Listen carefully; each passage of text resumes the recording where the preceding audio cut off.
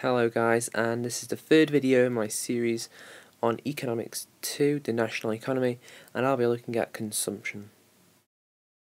So basically there are two types of consumption.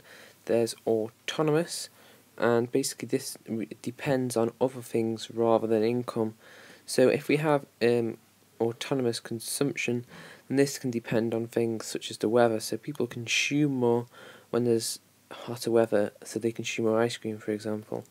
And then induced um, consumption. This is basically when people consume more with extra income and this often depends on discretionary or disposable income. So basically those are the two components of consumption.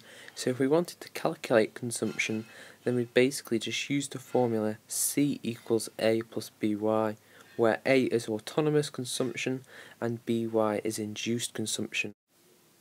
If you are asked to draw a graph on this, then basically you draw consumption on the y-axis and income on the x-axis. And basically the big line going up shows us um, induced consumption. So as income increases so does consumption of that good. And then along the bottom we have um, basically a self-determined rate and that's known as the autonomous consumption and basically that the demand or consumption of that good just continues at its same rate.